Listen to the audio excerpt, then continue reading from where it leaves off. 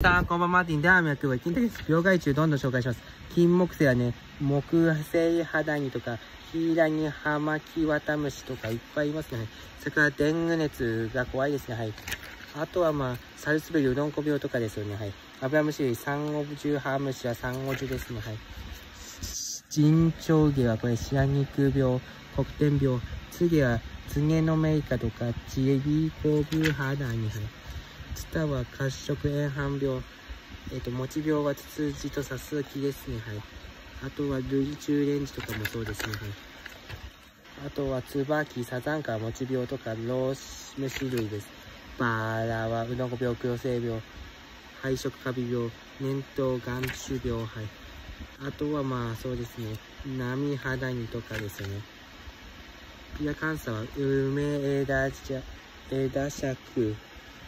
薪はね、茶の黄色アザミウマ、薪アブラムシですね。はい。まさきはうどんこ病、亀のコロウムシとか、松類やハフ類病とか、松枯葉、いろんなアレルギーありますね。はい、以上です。バイバイ。